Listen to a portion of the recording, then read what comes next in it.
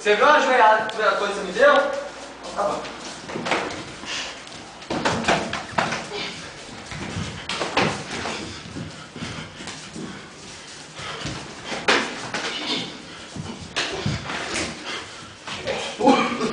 Pelo que?